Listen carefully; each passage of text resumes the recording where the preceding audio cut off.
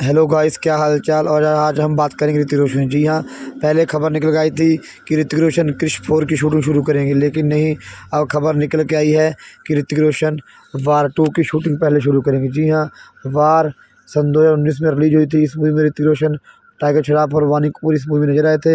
इस मूवी में बहुत एक्शन दिखाया गया था और मूवी जो box office super duper hit हुई थी, अब इसकी वार टू की तैयारी हो रही है। जी हाँ वार टू की स्क्रिप्ट तैयार हो चुकी है और इस मूवी फ्लोर पे आ गई है।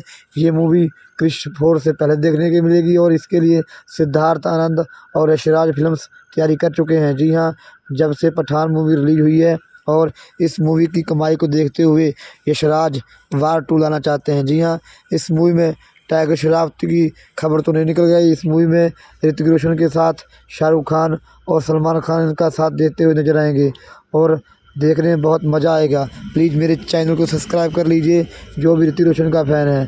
और हम आपको आगे जो भी अपडेट होगी, आपको बता देंगे। जी हाँ इस मूवी में देखने के लिए बहुत ही मज़ा आएगा। Thank you